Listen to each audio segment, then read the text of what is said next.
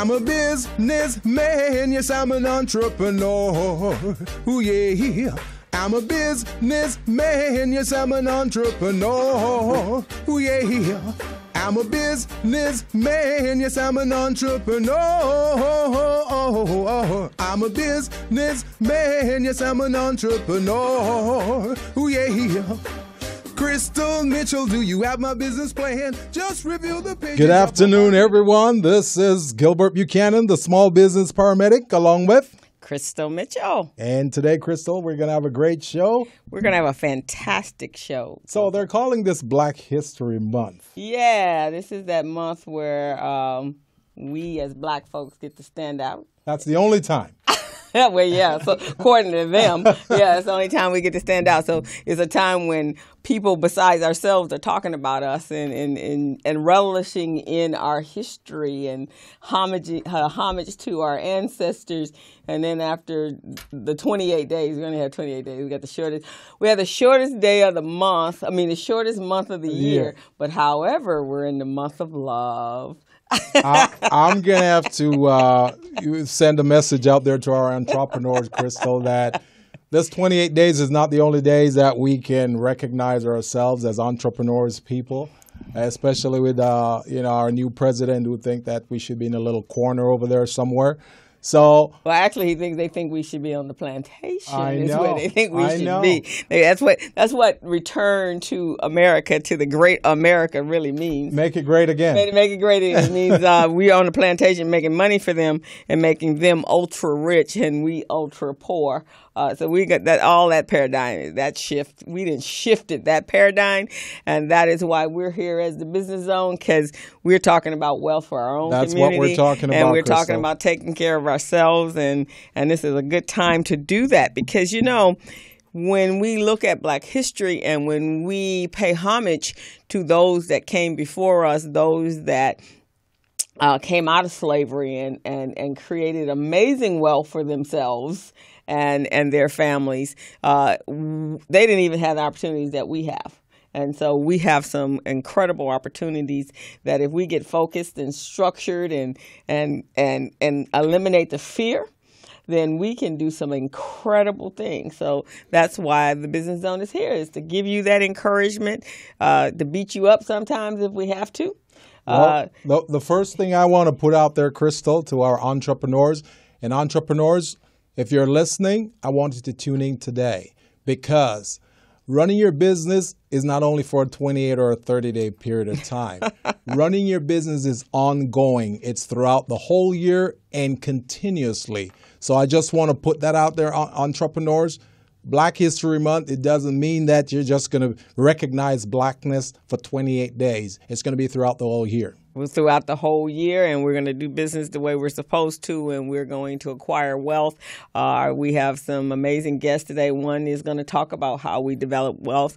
Our, our, our, our guest last week, that's what we talked about. And actually, this month was, in addition to being Black History Month, it was um, creating wealth in our community. And I think we actually started it in January when we had uh, Dr. George Fraser on, and that's that's the platform that we need to be operating from. That's the paradigm that we need to be operating from. Definitely. Is how we create wealth, how we maintain wealth, how we create legacies, and um, for me, it's about children. Is is about um, what or what kind of world are we going to leave for our children? Mm-hmm. If we were to leave today, this would not be the world we'd want to leave. Not as crazy and chaotic. We're really, really, really worried. It really, really, really worried. worried. So we're we're going to celebrate you. We're we're we're going to learn to collaborate. We're going to learn how to create collect, uh, cooperative economics. Um, we're going to shift our mindset and get rid of all the garbage that doesn't work for us anymore and hasn't worked for us. And we're going to make our ancestors proud of us. You know, it's amazing, Crystal. They're talking about African Americans being entrepreneurs right now. We were some of the first entrepreneurs ever because ever. the thing is, back in the day, mm-hmm. and we all know what day that was, okay? back in the day, we weren't allowed to purchase anything from anybody else, anyone else. Mm-hmm. So we had to purchase among ourselves. And that's how the entrepreneur spirit the entrepreneurship spirit started because we had to sell among ourselves. We bartered. We were the first one to have flea markets. We're the first one to have those those squares, those town squares that we go together and we exchange. Hey, I got a chair over here. What do you have for that? Oh, okay, I got a pot. You want Right, this pot? And that was bartering, right? That's that how we was got started. In fact, the very first time I went to Jamaica and I was on a cruise ship and I came off. Got, got, I, where did we go? I think we were in Negril. Might have been Negril. We came off the ship, and as soon as you came off the ship and walked through town, there was this marketplace. Yes. And it was there, and they were bartering, and Yeah. and I was like, oh, I had to buy something because they weren't letting up, man. They were like, uh, no, ma'am, how you gotta buy it. I didn't even like what I bought, but here, I'll just buy. I'll just buy. That's how it works. That's how the whole entrepreneurship spirit started. So I don't know why, you know, some folks think that they should try to get us educated now and say, hey, you need to learn about entrepreneurship. What we need to learn right now as entrepreneurs is the the the, the significance of owning property. the significance of owning property own because property. that's where the wealth is. And even property. then, when um, a number of the freemen and we're going, I'm going. I have uh, three. Um, uh, of our ancestors that I'm going to pay homage today in our Black Black History moments, and I'm going. One, a couple of them, when they became free, that's what they did. Even those that was part of the deal. So you know, a number of years ago, I was watching a sh- one of the judge shows, and this young man, he was about 26 years old. His his his major was uh, history, and so he did. He was a historian, Yeah. so he did the. Uh, research and he got his DNA and he found out that his family was from you know, he knew where his family was. I saw that show. Remember show? I saw and that And the young show. man took the the plantation owner's great granddaughter to Yeah. court Oh, yeah. because his uncle was still a sharecropper on the court Oh, yeah. on the on the land and he actually had done his DNA so he knew he was connected to the the the, um, the plantation owner and he found a bill of sale for his great great grandmother Mm-hmm. Mm-hmm. Mm-hmm. and he could prove with his DNA mm-hmm. that he was related to the family Right. and so when the family created the will Yeah. they left let's say just for the Oh, say they that Harris- excluded him. Right. They well they said the Harris, whoever we'll use Harris for for just for the sake of a name. Yes. But let's say Harris, whoever are the living heirs of the Harris family, they were now to be left. They were bequeathed the land. Mm-hmm. Well, this young man and his uncle were from the black side Yeah. and then this woman was from the white side. Now, when he did his ancestry.com, he smart enough, he connected with her. Oh, yeah. And they were all excited because they had found each other, Uh-huh. right? But now he'd already gotten, Yeah. and they went and did an extra DNA Oh, yeah. test. Oh, So yeah. it was no question that he was part of their lineage, I right? remember. And so the judge, and I think it was Judge Mablean, Judge Yeah. Mablean said, Well, I'm so sorry, ma'am, but uh, this young man here, he is absolutely right. got proof. We he has proof, and so it says heirs. It didn't say you particularly Right. to be to receive your grandfather's land. Yes. And so that was a precedent, I think. Oh, yeah. Um. So he, the uncle, of course, took the money. The young man looked at the uncle like, uh, you know, you've taken the land, and and so they had to split the land, and Yeah. and and the the person, um, she had to buy him out, and that was how it took place. So that was how, even as sharecroppers or even part of the Freedom Papers, they were able to acquire their land. Oh, so yeah. after I saw that, I was like, oh man, let me call my uncle. so, so we had our, a piece of land there somewhere with your name on it. right. So I called my uncle because we had done our DNA. My mom, before she um, transitioned, she had done a whole thing on our family. So I know everything. I even know the man that came over on the ship that got out of jail. Oh, I even know his name. I know exactly where I came from from that side. Now my next step is to find out my African uh, village, but I do know where I came from in Africa.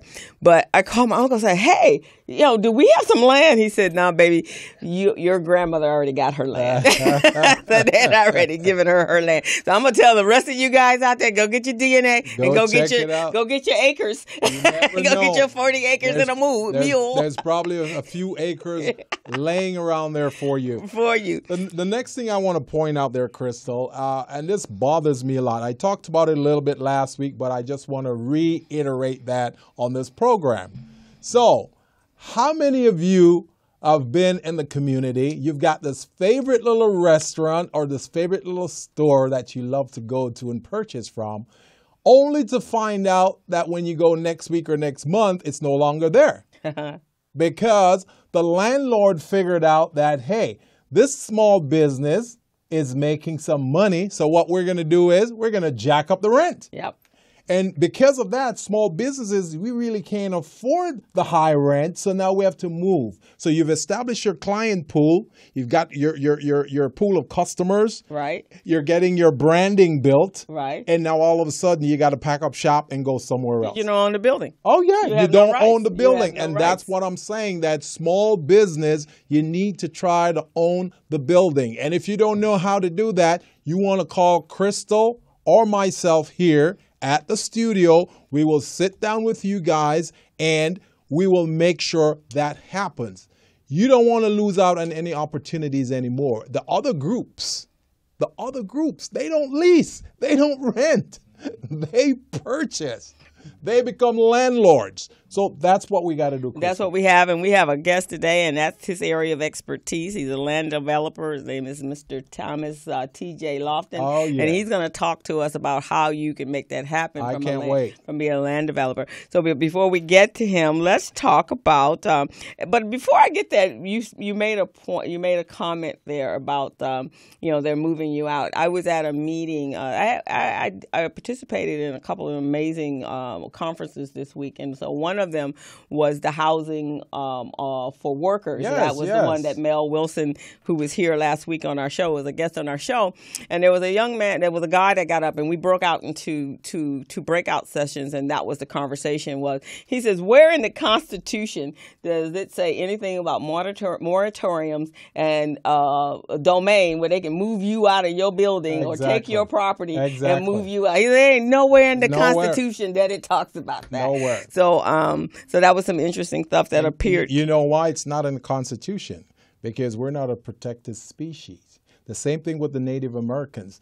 The, the U.S. government has signed over 400 treaties with the Native Americans, and not one of them they've kept. Not Right, one. no, right. That's what's going on. Look at what's going on right now with the pipeline. pipeline. Mhm. Yeah. They never kept one. But then again, we got to come back to entrepreneurship. Yeah. We got to come back to land ownership. We got to come back to legacy. That's what I'm talking about. because that was that's what gives you a voice is to have some a vested interest. You got to have some money on the table, Right. and you have to have some money so that you can go get your high power- powered lawyers. Yeah. Everything that we've heard um, uh, Trump talk about was eh, all week. I'm going to sue you. I'm going to sue you in the court. I'm going to sue you in court, and Yeah. that's what he does. Yeah. Um, and to a place that you know that that um, one of his hotels, there's like five liens on it because he, he won't pay the people. That's what I'm It is talking about. ridiculous. But um, before we move off into our, all our crazy, uh, what we go what, about that man, because that man will make you your blood pressure go up. I think my blood pressure has been like ten, like ten degrees higher. I went to the doctor and they're like, "Oh my God, what's wrong with your pressure?" It, it's Washington is what's wrong with my We're pressure. gonna have to send you on a vacation there, Crystal. right, exactly. So thank God for Zumba. Um, it's the only thing keeping me sane. But um, we're going to pay homage to a couple of our ancestors that uh, made some phenomenal inroads uh, in for the black for the black people for us. Yes. Uh, the first one is George Washington Carver. Uh, he was born, and and this is and and he's very significant because I just had a conversation with someone, and we're talking about doing a float in the Rose Parade uh, next year. Uh, the president of the Rose Pasadena Rose Bowl, he's gonna he's gonna be an African American. So I'm talking to some people about of what would it cost to put a float in place, and and I have some friends that actually sit on the boards, and they're like great. they were saying that was like fantastic. That is great. So that is great. when I brought it up to someone, actually, it, it, it was a conversation that I was having with my co-director, Recycling Black Dollars co-director Mm-hmm. Jackie B, and she was saying, "There's, I don't think I've ever seen a Rose Bowl that was a, a float that was black, that was uh, by black people." That's true. And I thought, well, actually, that's a fantastic idea. Yeah. So I reached out to a good friend of mine, Muriel Shabazz, Mm-hmm. who is uh, the owner and proprietor of Shabazz Fish.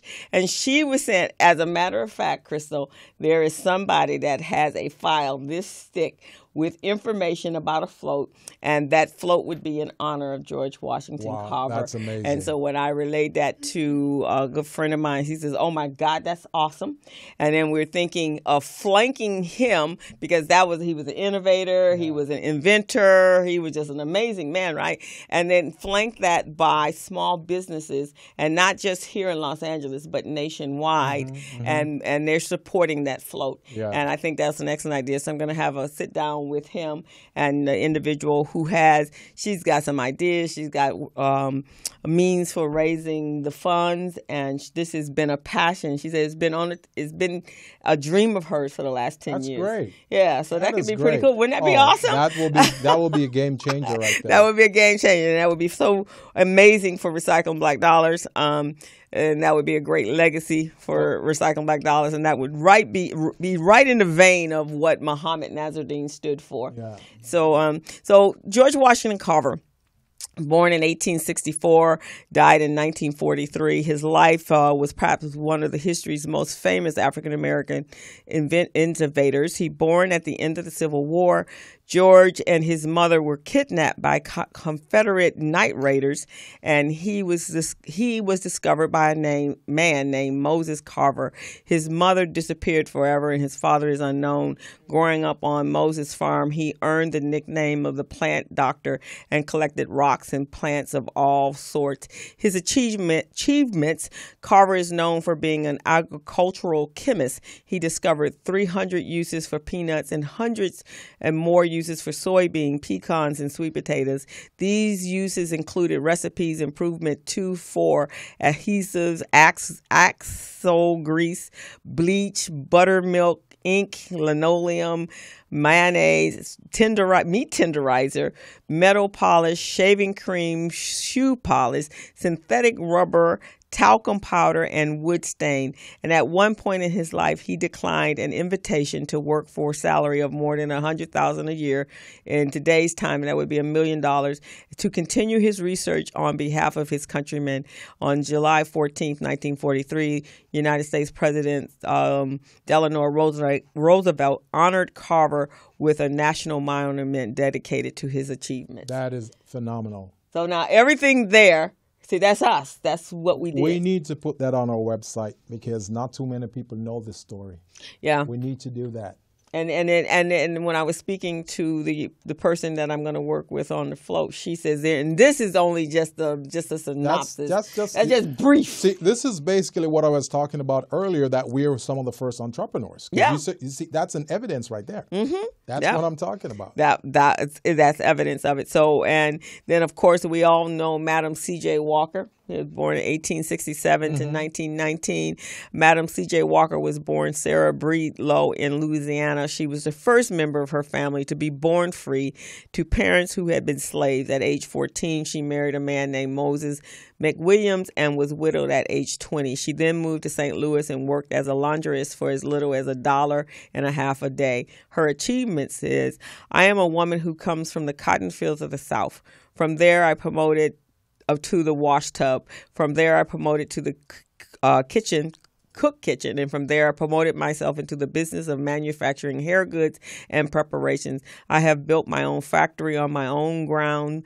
Uh, she founded the Madam CJ Walker Manufacturing Company to sell hair care products and cosmetics.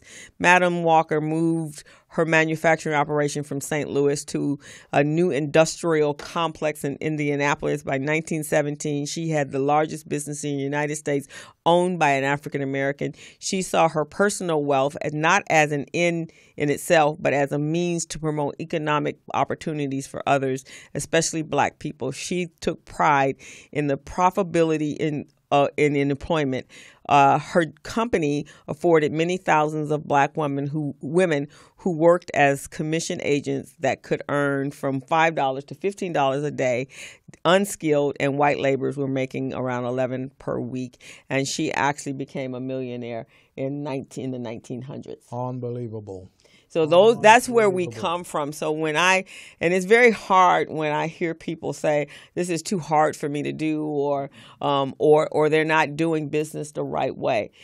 They didn't have the same opportunities that we had. That's right. So there is there are no excuses in my book That's because there I'm are people talking that came before us that had a much harder time, Mm-hmm. and I haven't even gotten. Next week, I'm gonna get, I'm gonna move over to Black Wall Street Yeah. and hear these people. The whole town Yeah. was nothing but very. Pri- they had an airport. They had private planes.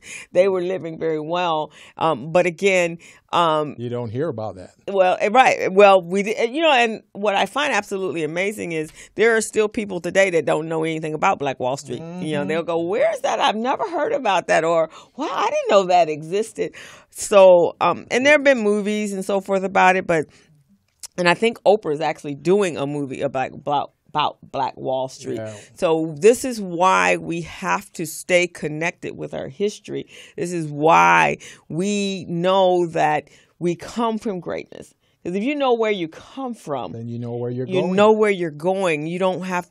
No one can tell you anything about you Yeah. because you know about you more than they know about you, and you know what you're capable of doing. Exactly. So when I think about our ancestors, and these are people that weren't related to me, but I know what my own family did, Right. and and the achievements that they made, and and everybody else that we know can go back just in their own personal history and and and discover the greatness that resides within their own DNA and they're within their own gene pool. So um, that is our our our homage our homage for Black History Month. Oh, yeah. Um, and and our ancestors that did some miraculous things and with all kinds of challenges that we didn't have. Mm-hmm. Um, but before we bring up our next guest, I really want to cover this real quick. So I think I mentioned to you that I went to a meeting. Uh, it was called the Partnership in Lending in the Underserved Markets, called Yes. Plum, and it's an initiative that do you is- want to talk about it now? Because we only have two minutes. You want to talk about it now, or you want to? we can talk about it. You wanna talk about- No, no, we'll wait. Okay. Okay. Because We wanna do a that's? I think that's very valuable information. Oh, it is. It's Uh, we don't just we don't just want to gloss over and just talk about a Okay. piece of it. We want to talk about it in depth. Okay, Because that works for me. That is critical stuff. That's very important to the survival of African American small businesses. Works for me. Okay, let's Okay, do so that. do we want to do a break? Let's- Um, let's go ahead and take a break right now. We'll come back, and this is a business zone with Crystal? and Gilbert Buchanan, the small business paramedic. All righty. Take a break. Okay. Hello, meet Larry. Larry is a general contractor. Larry is very good at his craft, but Larry has a very tough time managing his paperwork because he is busy taking care of his clients' needs. Larry just cannot find his important business documents when needed.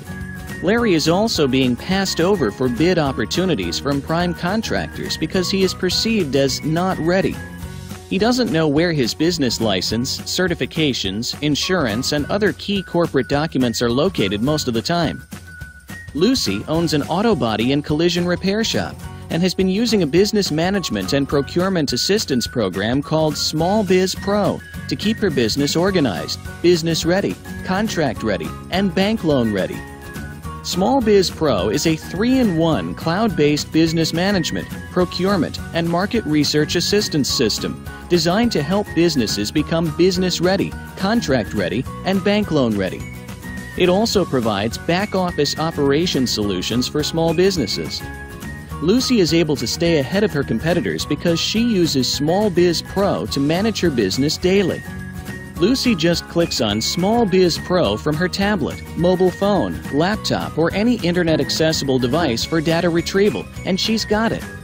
Lucy introduces Larry to Small Biz Pro, and now Larry is more organized and can now find all of his documents and new bid opportunities in seconds. Larry now saves $120 in labor costs for each missing or misplaced document. Just simply go to your web browser and log into smallbizpro.net and register today for a limited 30 day free trial offer. Services start as low as $1 per day. Let's put the competition out of business. Small Biz Pro. If you stay ready, you don't need to get ready. Register now at smallbizpro.net and begin saving money. Email info at smallbizpro.net or call 626 533 1186. Africa watching us, guys. Welcome back to the Business Zone. This is Gilbert Buchanan, the small business paramedic, along with Crystal Mitchell. And today we've got a great show for you. We're celebrating uh, Black History Month, and we've got some great guests on the show. But before we get into our guests, our phone number here is 323 293 3375. That's 323 293 3375. I'd like all of you to call in today, participate in this program because this is phenomenal. Crystal? It is. And I want to welcome everyone that's coming on Facebook Live. Margot, hello. Naja, hello. Daryl, hello. And I believe we have a uh, watch, a viewer from Africa. Oh, welcome to the Re- show, viewer. Mr. Remexa Odiba Aussie, Aussie, I think. I probably messed all that up, and I am very, very sorry. But thank you for tuning in to us on Facebook Live.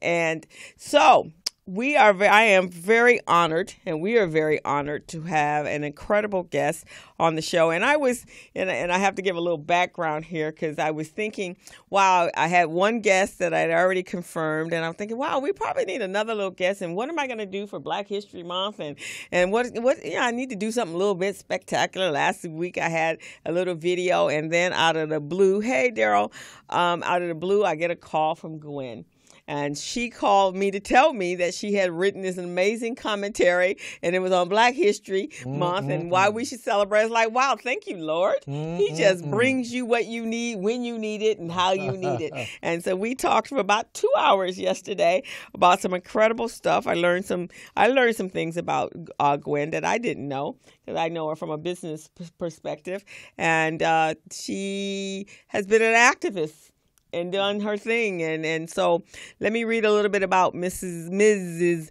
Gwen Lang Jones, a transplant of Jacksonville, Florida, and a lover of music, Gwen sang her way through high school and earned a full time music scholarship to college. Her high school glee club had the honor to sing. She had her high school glee club had the honor to sing to Mary um, uh, Math, uh, Cloud Bethune. Bethune on Mother's Day, the Sunday prior to her death. Now that's amazing. They were also honored as being the first high school chorus to sing on the floor of the house. And after graduation from Edward Waters College, she migrated to Los Angeles. Because her music scholarship was non transferable, Gwen found it necessary to enter the workforce, and she late, later decided to re enter school to pursue her degree in sociology. Upon graduating from Cal State University in Los Angeles, she joined the Equitable Life Assurance Society of the United States as a financial service representative. During her tenure, she received numerous awards and recognition for outstanding sales and managerial performance. She was voted Businesswoman of the Month of Century City by the Century City Chamber of Commerce and was recognized by Jet Magazine as the first black female district manager in the entire history of Equitable. Gwen's community involvement includes as past president of uh, Toastmasters. Is that what it is? International Toastmasters? Mistress. Mistress. And uh, a Center's International Training and Communication Club, past vice president of Black Women's Network, past president of the California African American Museum Service Council, souvenir uh, publication chair of Daniel Freeman Hospital Auxiliary. Gwen was also awarded a certificate for outstanding community service by Mayor James Hahn. Additionally, Gwen is a member of the Delta Sigma Theta Society, sorority. Retired for 15 years, Gwen enjoys spending time with her family. She has edited a book, co authored a book, and she is enjoying writing poetry and is currently working on a book. Gwen recently celebrated her 56th wedding anniversary with her husband, Walter. They are mm. the proud parents of two adult children and two grandchildren, Amari and Malik. Malik and Malik. And I want to welcome you. Wow, some of this stuff I didn't know about, and I am even more honored now than I was when. And I've known you for about three, five, five six, longer than that. About seven or eight years. I. Almost 10 years. I told I you we were know. in the company of royalty. Right. You called it, man. I told you. so Gwen is going to um, read to us a commentary that she authored in 2012 on why we must celebrate 2008 why we must continue to celebrate black history month and i'm going to mm-hmm. turn it but before you read would you like to say anything else about yourself that wasn't covered in that wonderful bio? Well, that's That's it. that's mostly it. Um, Okay. well, I am, as I said, from Florida. I'm from a large family, mother and father, and nine siblings. Wow. Welcome to the show. Yes, it's a pleasure. It's a, it's a pleasure to have you. and from the experiences that I had in Florida, they were breathtaking, many of them.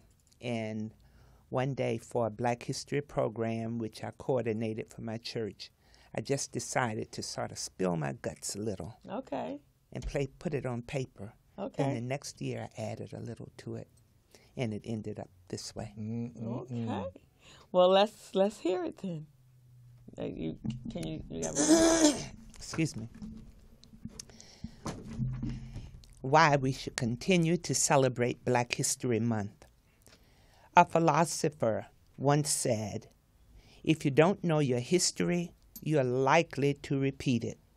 With this in mind, I reflected on my past, a similar path for which many of you have traveled. As a little Negro girl, born and raised in the South, in a cesspool of overt ignorance, bitterness, hatred, and outright racism, I was taught to love God, to do unto others as I'd have them do unto me. And I was also taught invaluable techniques for survival in such a horrid environment. Along the way, I was victimized by the colored and white water fountains, riding in the back of the bus, having to use the bathroom prior to going downtown to shop because there may not be a restroom to accommodate me, eating before leaving home, or being certain to carry a sandwich along to prevent inevitable hunger pains, as we could not enter a restaurant or be served at a lunch counter. Those adjustments were necessary due to the unjust laws in our America the Beautiful. Mm. I can remember so very well when I would witness blatant race, racial discrimination, express my sentiments very quietly, or swallow my pride and not reference it at all. I believe in and support our Constitution as the cornerstone of our democracy, to embrace our allegiance and to hone the spirit of equality, to be ever fair, ever good, and vehemently devour hypocrisy, and prohibit its inhabitants from taunting its beauty with obscure immorality. Although many of our laws have been modified to be held in high regard, there is yet an enormous amount of toxic minds that employ a reckless disregard.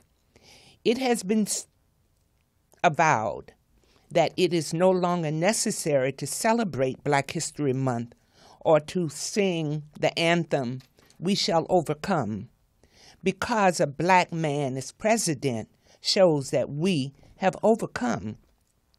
Conversely, it is my perspective as a proud black woman that the cause for the celebration will never grow old, and its significance must be fervently echoed to keep us in the fold. Perpetual racism divulges that enough is enough. But when I convey my, doc, my discontent, I'm often told that I'm being a little too tough. So, for better clarification, I will articulate my rationale in rhyme. Why Black History Month should be widely respected and vigorously celebrated to the end of time. Our life's journey in the motherland allowed us a free spirit with a yearning to learn until one day formidable acts of torment forced us to enter the door of no return. Our arduous voyage to the Americas was unwelcomed indeed, as determination and drive gave us a strong will to succeed. We were arrogantly dehumanized with little to no exception, and we were compelled to fulfill our duties without obvious deception. With a great sense of pride among us and a longing to sustain, we did everything in our power to simply adjust and not complain. The struggle made it considerably difficult for immediate adjustment, but with God's help, we forged ahead as we strived for advancement. Heartfelt degradation was applied with a, with a small degree of fuss. Thus, it made our level of progress appear nil or highly oblivious. Greed and profits were the main motives in mind, and seldom was compassion displayed in kind. While honor, worth, and prestige became the order of the day, hardship was a constant and was demonstrated without fair play. The transition from stress was stressful and unbearable reality for the survivors of the voyage experienced a senseless inequity. They were the keepers of the dream. African Americans are a strong, proud people and products of a rich legacy. Therefore, we must never allow others to make us feel inferior because of their incurable jealousy motivation, innovation, and collaboration are descriptive of our ancestral tradition, influenced by nobility, pride, dignity, and uh, uniquely spiritual intuition. We are kings, queens, conquerors, and the ultimate reality and the ultimate royalty and we possess the fortitude to make all dreams a reality. Innately, our hearts ring out with kindness and love for our nation, to be countered by hate, anger, envy, and inhumane humiliation.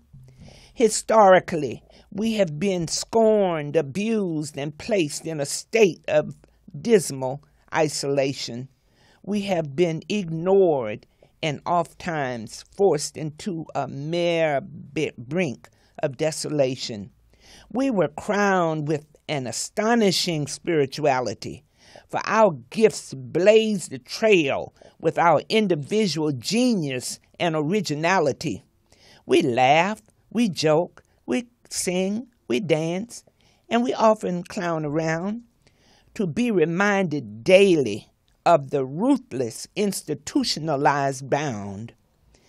Our inborn wisdom has instilled in us our strong will to innovate, while others feel an enormous need and absurd desire to emulate. The enormous contributions of blacks in these United States of America are representative of the unmitigated genius that we brought with us from Africa. We have contributed notably to this country in all areas education, sports, entertainment, art, science, entrepreneurship, and politics as well. Though many deemed the transformation so unfair, they decided to rebel numerous contributions by African Americans have been obviously recognized, while others appeared absolutely ignored to crop up later as an original from where they had been intentionally stored. The truth of who we are and why we should be revered from sea to shining sea is precisely inscribed in the archives of America's written decree. Let us forget let us forever give honor to the works of Dr. Martin Luther King Jr., who blazed the trail for millions to follow.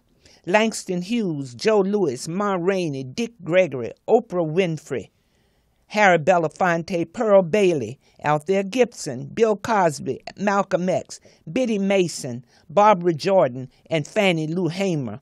Also, Colin Powell, Danny Bakewell, Jackie Robinson, Louis Farrakhan, Dinah Washington, James Weldon Johnson, Lena Horne, Denzel Washington, Magic Johnson, Marian Anderson, James Brown, Dr. Mark Dean, architect of the digital revolution, with more than 20 patents to his credit. Maya Angelou, Michael Jackson, Jesse Jackson, Rosa Parks, Dr.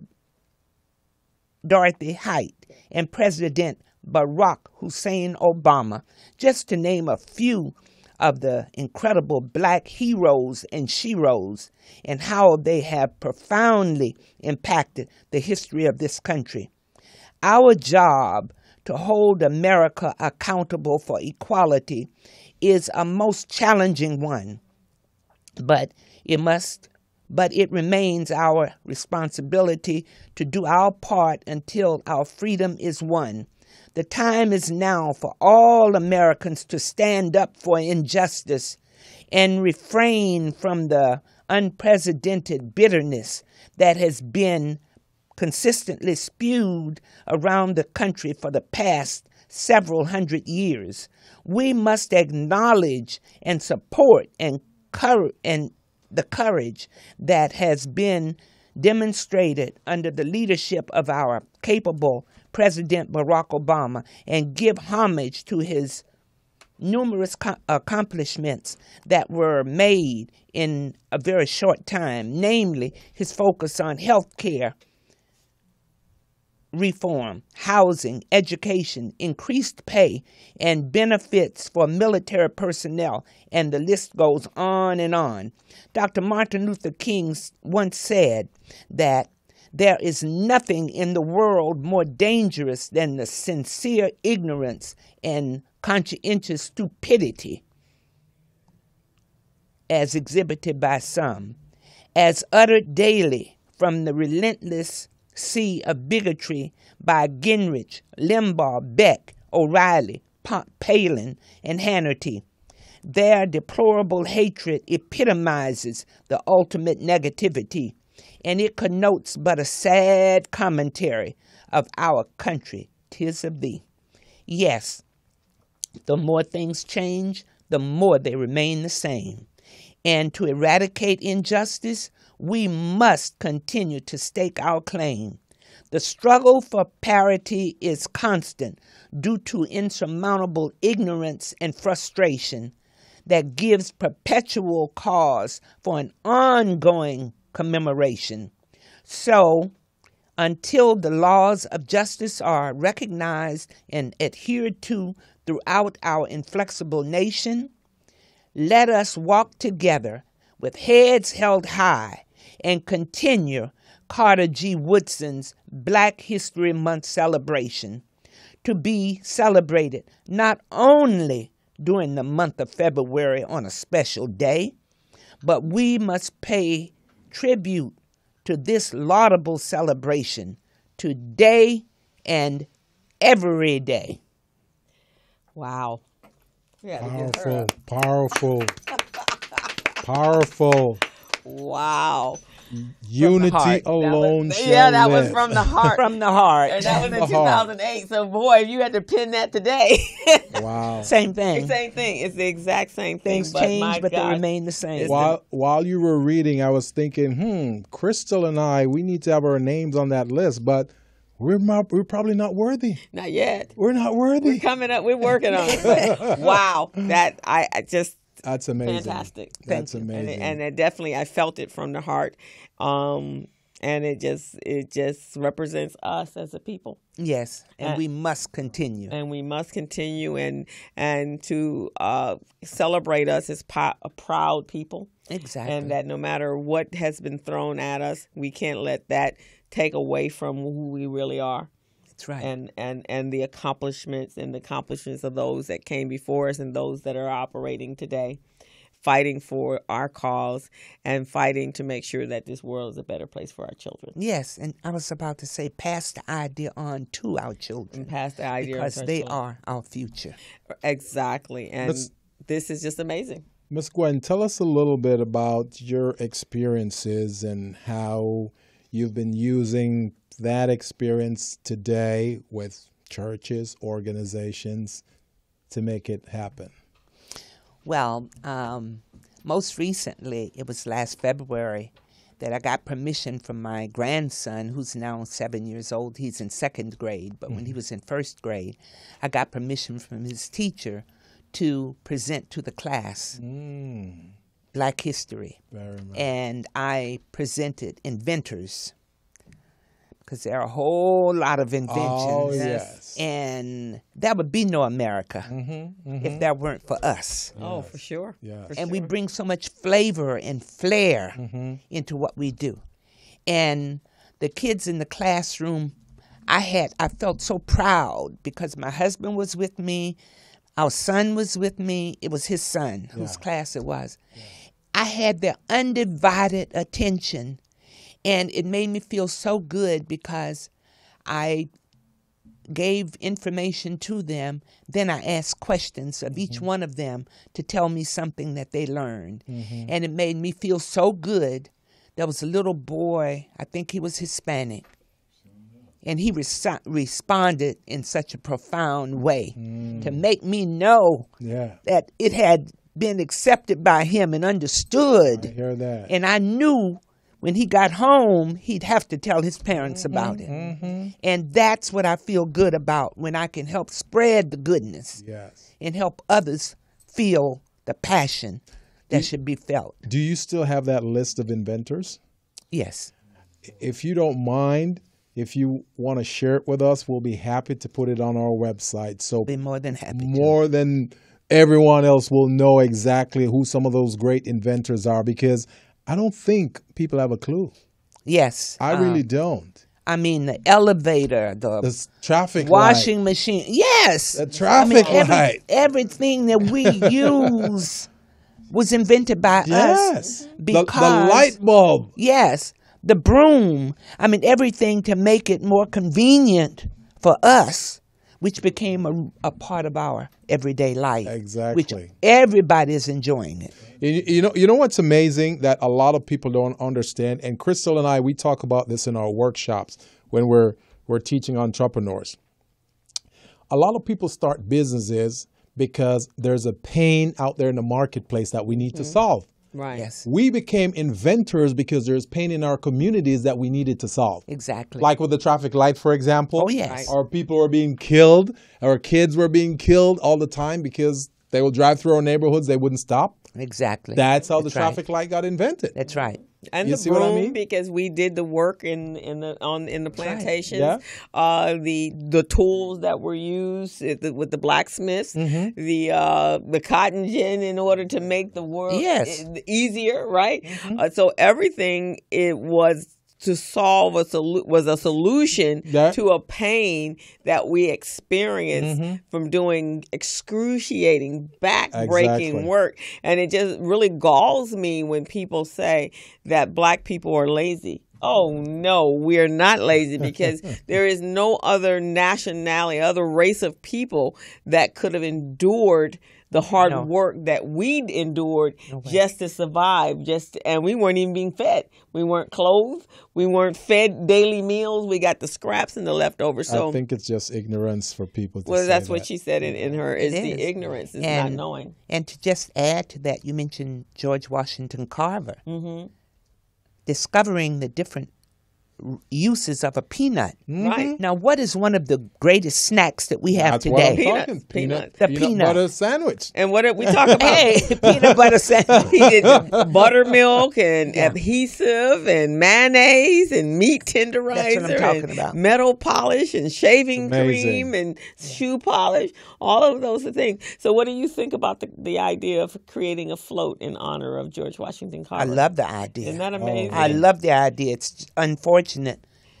It's very expensive to have a float in the parade. Right. We I think we But found with that. the collaboration that you're speaking of, it can happen. and, and that collaboration and the and the um the uh, co- uh, cooperative economics Mm-hmm. and one of the things that uh, the um the the her name is Etha that she she has she has a file because she's done all her research and and her one of her goals is to reach out to all other organizations. And she said there are actually the states there are states that actually celebrate George Washington Carver and all of his accomplishments as an association. So she's going to reach out to them.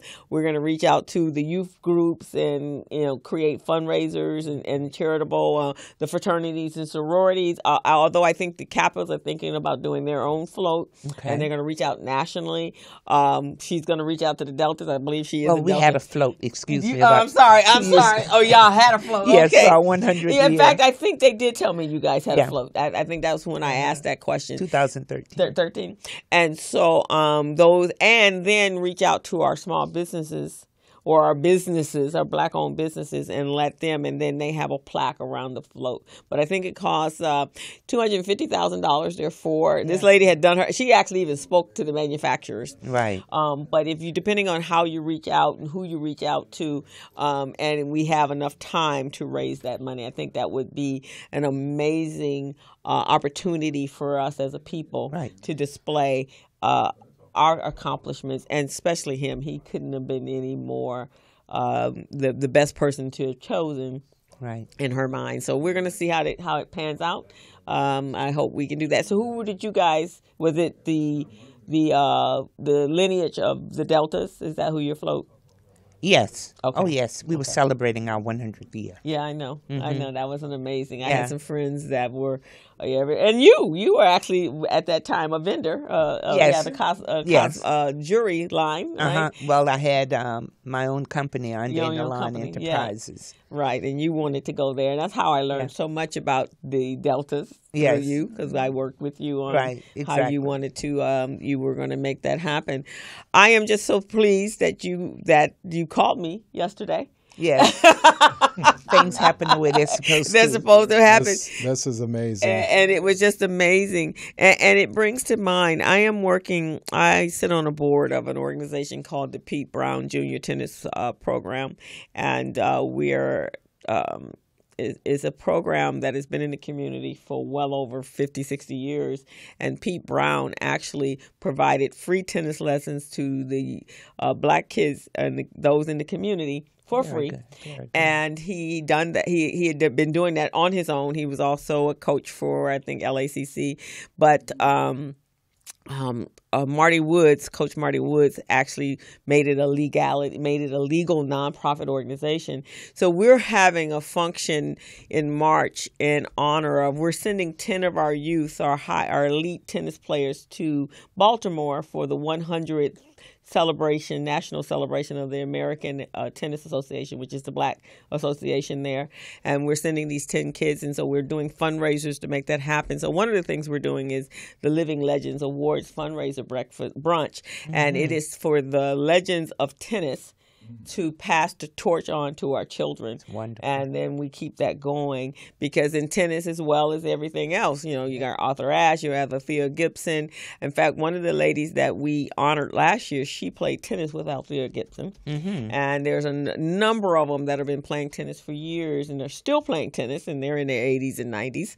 And uh, so we want to make sure that this sport is recognized for all of the legends. You know, our children only know of Serena and I Venus, know, I and know. our and then if you in your sev- 50s, 60s, and 70s, you know Arthur Ashe. But prior to that, you know, they don't go back further than that. So that's one of the things. So just paying homage, even in a in a, in a sport, to our legends that uh, that they broke color lines. Yes, they did. They broke color lines. Yeah. I remember Althea Gibson You do you? From being from Florida. Yes, 'cause she attended Florida A&M University with my Uh-huh. sister. hmm And that's where actually where where the ATA is housed in Florida, and they have a beautiful court there in Arthur Ashe Stadium, and so um, that's one of the things that we're doing in honoring those in in, in that industry. Hey Leo, welcome. Glad you you stopped by on Facebook Live. I tell you, I'm going to have to. Um, I I have it in electronic. I'm going to make sure that when we clip the tape, that I send this everywhere. Okay. Because that was brilliant. We Thank got to do and that was that. brilliant. We got to do that. And then And I'm this- gonna refer you to some people who need you to come out and recite that to them. I'll be delighted. Okay, that's Perfect. Miss fantastic. Gwen, we want to thank you for coming on the show. This is phenomenal. Well, thanks for Now the that's the way. Black History is supposed to be celebrated. This this is a learning experience for me. So Yeah. this is great. So And thank then- you so much. and for Thank Gilbert, you for the opportunity. Gilbert grew up in Jamaica, Mm-hmm. and so I know you guys not the same as America, but you had your own trials and tribulations. Oh yeah, we, we were abroad straight from the slave ship to Jamaica. So Right. Everyone Oh yeah. has Right. had their experience. Oh yeah, we girl- and we have our own heroes. You know, we've got Marcus Garvey and Yes. you know all of those fine folks. Oh, yes. So yes, we do. So thank you so much. Thank you. They're Thank you. welcome thank We're you. gonna go ahead, Crystal, and take a break right now. We're at the top of the hour, four four oh two. So we'll take a quick break, two minutes, and we'll be back. And if for those of for those of you entrepreneurs who are listening, I'd like you to give us a call here on our radio station at 323-293-3375. That's 29 uh, 323-293-3375. This is a business zone. Thank you, and we will be back in a moment. Hello, meet Larry. Larry is a general contractor. Larry is very good at his craft, but Larry has a very tough time managing his paperwork because he is busy taking care of his clients' needs. Larry just cannot find his important business documents when needed. Larry is also being passed over for bid opportunities from prime contractors because he is perceived as not ready. He doesn't know where his business license, certifications, insurance, and other key corporate documents are located most of the time. Lucy owns an auto body and collision repair shop and has been using a business management and procurement assistance program called Small Biz Pro to keep her business organized, business ready, contract ready, and bank loan ready. Small Biz Pro is a three in one cloud based business management, procurement, and market research assistance system designed to help businesses become business ready, contract ready, and bank loan ready. It also provides back office operation solutions for small businesses. Lucy is able to stay ahead of her competitors because she uses Small Biz Pro to manage her business daily. Lucy just clicks on Small Biz Pro from her tablet, mobile phone, laptop, or any internet accessible device for data retrieval, and she's got it. Lucy introduces Larry to Small Biz Pro, and now Larry is more organized and can now find all of his documents and new bid opportunities in seconds. Larry now saves $120 in labor costs for each missing or misplaced document. Just simply go to your web browser and log into smallbizpro.net and register today for a limited 30 day free trial offer. Services start as low as $1 per day. Let's put the competition out of business. Small Biz Pro. If you stay ready, you don't need to get ready. Register now at smallbizpro.net and begin saving money. Email info at smallbizpro.net or call 626 533 1186.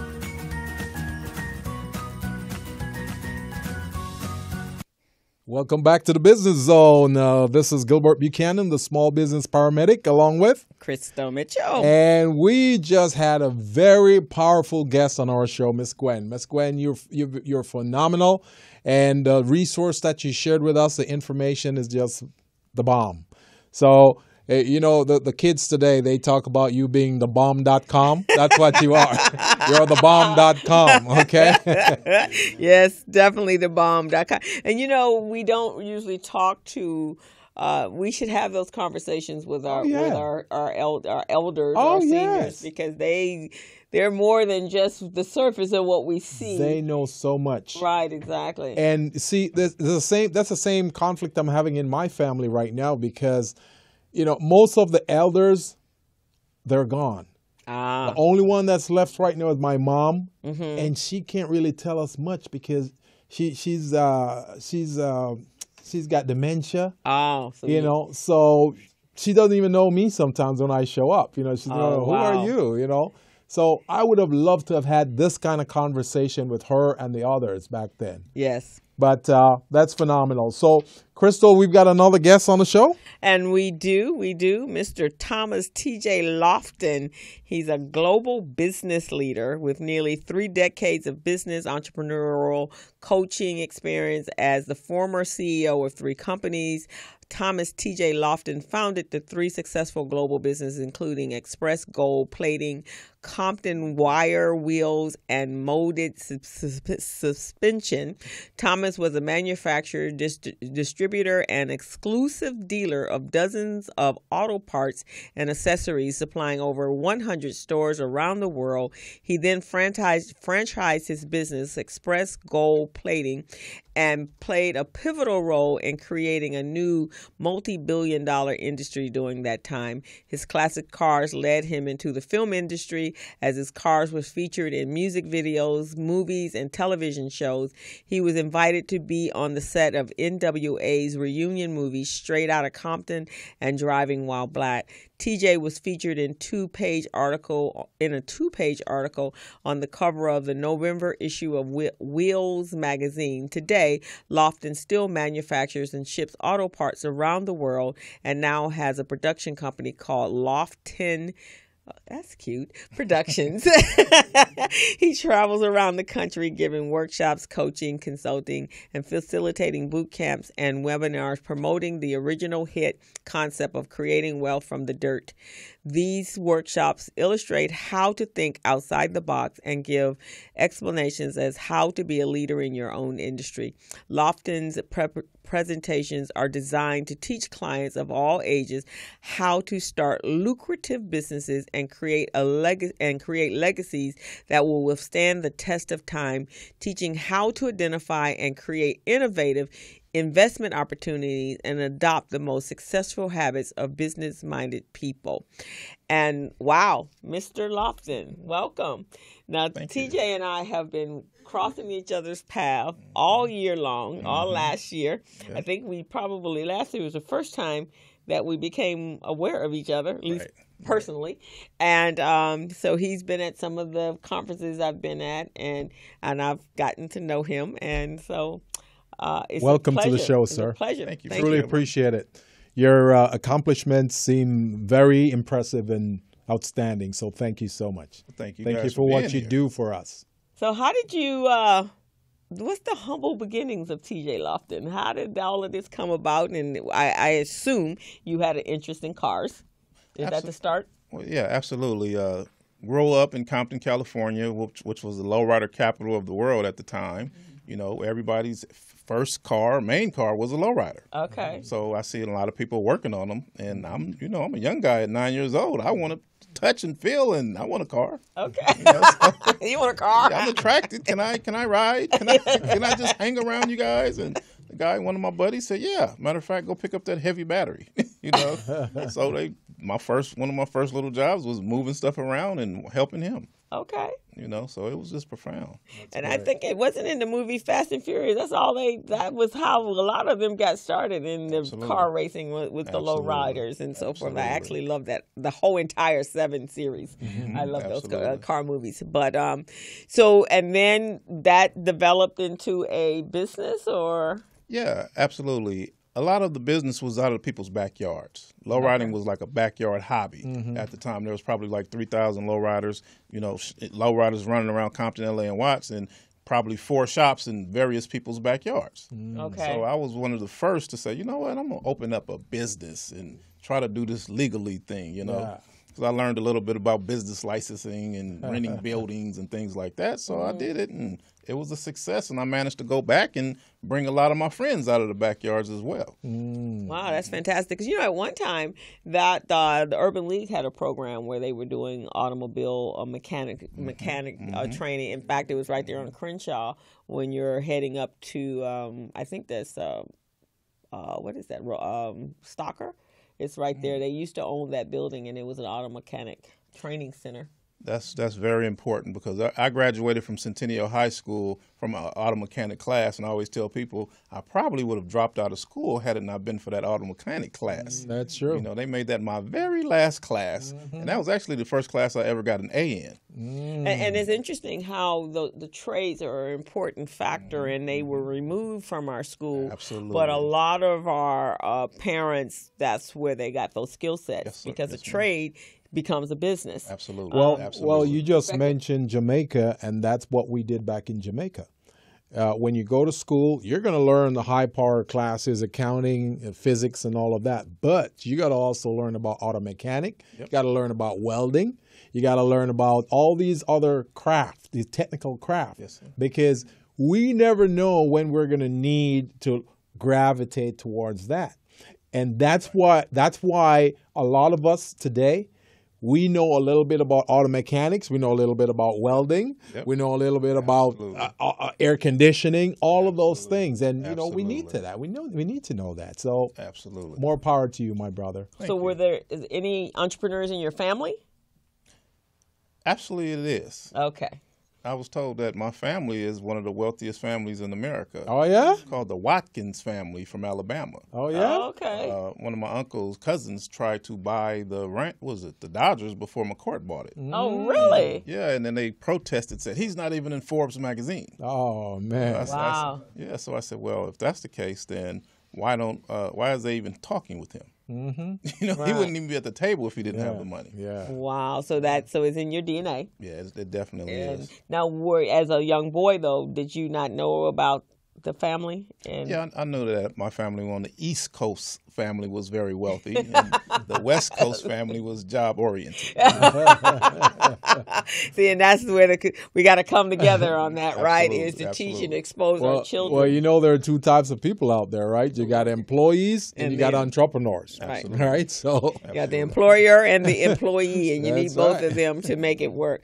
Um, so, Iowa. So you became quite successful in the mm-hmm. automotive, and was that the platform? Because I know you're into land development, Absolutely. and so is that how you acquired the money to become your own investor, Well, at sort the, of, so to speak? it started at the at, the- yes, the cars is where the money came from. Okay. meaning I had a lot of, because when I started building these cars, a lot of people globally were seeing these videos, you know, with all the rappers and lowriders, and they were like, "We want one of those cars," you know. Right. So they would call down to Compton and say, "Well, I was in Gardena at the time," Uh-huh. and say, "Hey, I want to buy some of those cars," and I'm like, "Now I'm buying a lot of cars." And I'm shipping them from all over the country because Calif- America is where General Motors is the birthplace. Right, Exactly. So we have cars hitting all in the hills and people's backyards and, Mm-hmm. and barns. So fast forward the story, I started bringing these cars back like 30, 40, 50 a week or month, and I didn't have anywhere to keep them. Mm. So I started, someone recommended, hey, you should buy some land in Palmdale. Mm. Oh. Move all those cars because at one time I had over 200 cars probably. that is Oh, such a smart move. Wow. That is such a smart move. yeah, so I picked up a piece of land in the middle of nowhere Yeah. with, with a fence around The it. The tax base is really low. right, you know, so I paid about what uh, five hundred dollars for one, fifteen hundred for another one, and then I got like thirty cars on this one, fifty on that one. I got tow trucks on this one, you know, and then all of a sudden, uh, uh, what is it? Uh, the development started. Uh-huh. A lot of people didn't realize that in 2002 to 2006, Yeah. Palmdale was the fastest growing city That's in true. America. That is true. Wow. Which led to developers Mm-hmm. coming out there building brand. We got a brand new Walmart. Yeah. We got a brand new Staples. We got a brand new Circuit City. We Mm-hmm. That's got a true. brand new. It was just out of control. So they kept coming to me saying, "Hey, we want to buy that land. Oh. We know you pay fifteen hundred for it. We'll give you fifty for it." And I'm like, I'm like, okay, I got a hundred cars on that lot. Like, mm, no, you know, That's it's not enough worth money it. It's, yet, it's huh? not worth it, you know. So fast forward the story, I started seeing all this development, and I remember seeing uh, these houses were being built, and and I just realized, I said, wait a minute, they gave me you know a lot of money, way a hundred times what I paid for it, mm-hmm. and then they put this big mall on it, and they put this shopping center, and they put a Staples, and they put. I'm like, wait a minute, what if I'd have kept that land? Man, Right, and exactly. built my own shopping center, you know, mm-hmm. and that's how it, it got started. So I started building houses, and it just blew up. I started building one, then I realized it was cheaper to build 2 Then I learned the game. Then I started building three and 4 and then I came back to Los Angeles, and people were like, "We're flipping." I'm like, "Really?" Flipping. like, what's that? like, flipping. Y'all ain't making no money, you know.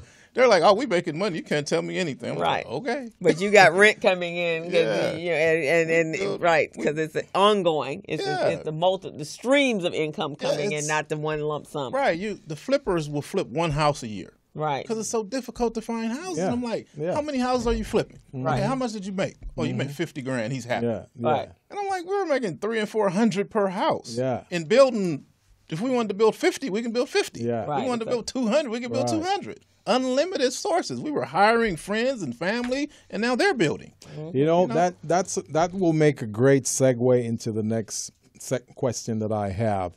Now, w- I mentioned earlier about many of our small businesses leasing from landlords and Right. and then when they fix up the place, dress it up because it was really crappy when they got it. Right. They fix it up, then all of a sudden the landlord go, "Oh, gotta go. Yep. I need my place." So now they can sell it or rent it out for much higher.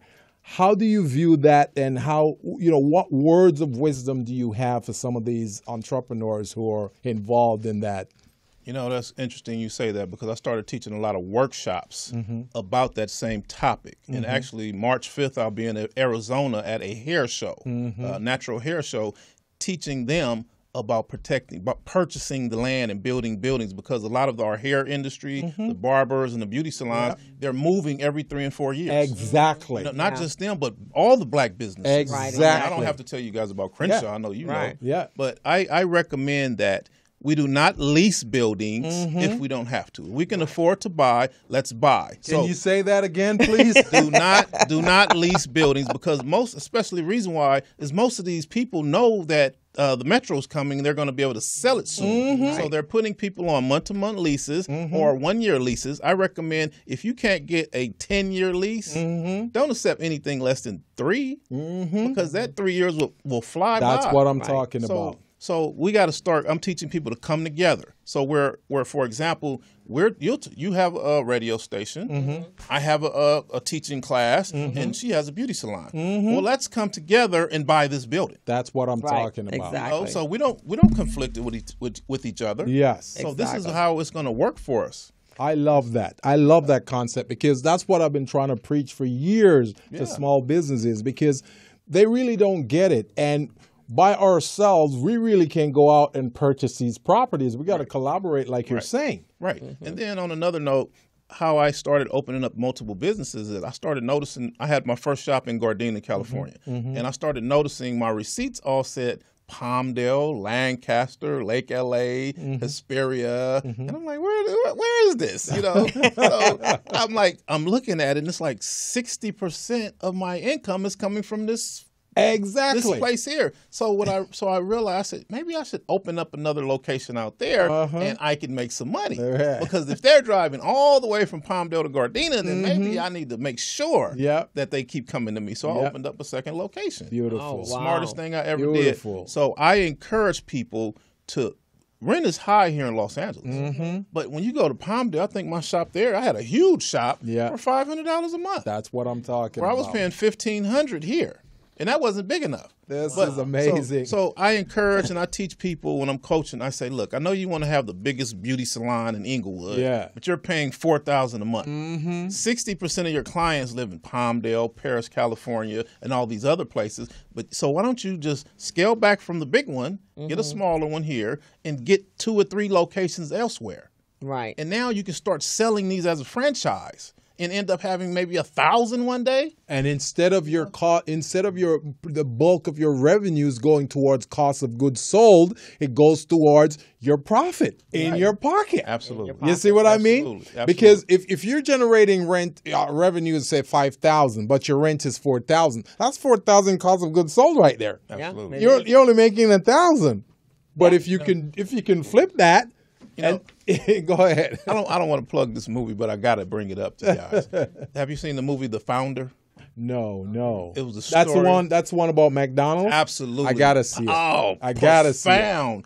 Profound. it shows that the guy was not making any money, even Yeah. though he had dozens of McDonald's. Yes. Mm-hmm. Now, when they turned around and said you should buy the land mm-hmm. that the McDonald's sit on, mm-hmm. you're not about selling burgers. You should buy the about land. Exactly. Oh In fact, in man! all of our watch classes- the movie. Yeah. watch the I gotta see it. I gotta see it. I'm like, that's why every time a movie like that come out, they'll put Yeah. out a black movie on the same day. Uh huh. And we're gonna go see the black movie. Yeah. Yeah. You know, and Yeah. I'm like, we got to see these Oh, movies yeah. because it shows that they didn't put anything into these business startups. See, that's Right. pearl of wisdom. And I don't remember where I was last week. We were talking about the same concept. You know, someone says, do you know why it's important to know where a McDonald's is being built? They're going, I don't care about that. Yes, you should care because McDonald's they build on their own land, and wherever they build, there's a lot of people going there. It makes the property, your property value, go up. Absolutely. So that's where you want to be. right. And these are things that I, and actually in our in, in my entrepreneurial classes uh that was in marketing classes and your mba classes that's what you talk about you don't talk about mcdonald's Yeah. being a burger place you talk about Mar- mcdonald's being in business he's in the real estate business mm-hmm. there he is not in the burger place Yeah. Absolutely. and and he's in the real estate business all over the world Oh, yeah. and and, and, and it just happened to be a product that they put on their land. Right. It had nothing to do with burgers. That's why there's no fanta and but here and that makes sense as to why they're having some issues now because land has become very scarce Oh, in the United States, Yeah. right? Well, that's what they tell us anyway. with that. But there- not, not there at people- all. and Not at all. actually, um, uh, TJ, I was at a forum. It was called How the Housing Our Workers Forum, and you actually should have been there. I'm going to make sure that you meet the uh, Mel Wilson who was on our show last week, because the we we- we were there in the valley, and our conversation was um, the the housing situation crises here because we have not enough inventory for the number of people that are actually living, and this is around the country, but ma- mainly we're talking in Los Angeles, and that rents are so expensive, and so many people are homeless, and so forth and so on. So that was the conversation, and it was well. He had a, an amazing turnout. He's been in real estate for the last fifty years. And uh, so the questions we were asked, and I sat on the panel, and one of the questions was, How did we get here? And then the second question was, and there was an input from those of us on the panel, those that were uh, esteemed real estate professionals, uh, those that were in the governmental entities, and those that sat with all the national, the NAR, and and the real estate associations and, D, and DRA.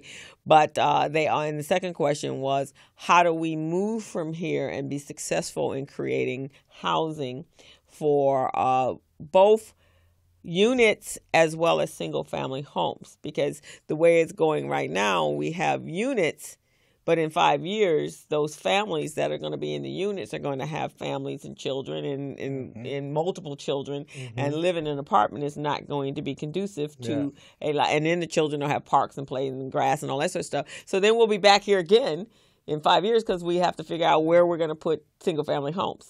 So, um, and then the final question was how do we work together collaboratively?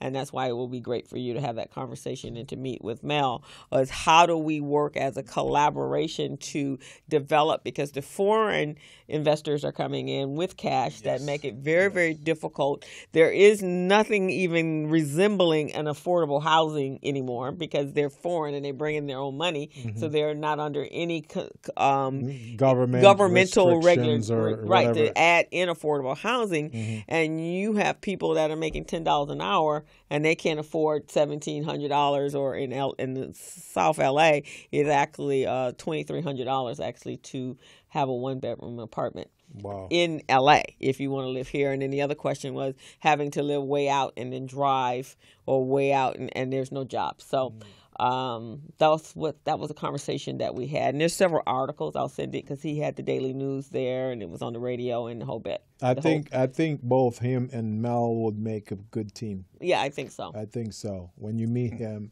a- and he's connected. You know, oh, he's well, very well, connected. well so- connected.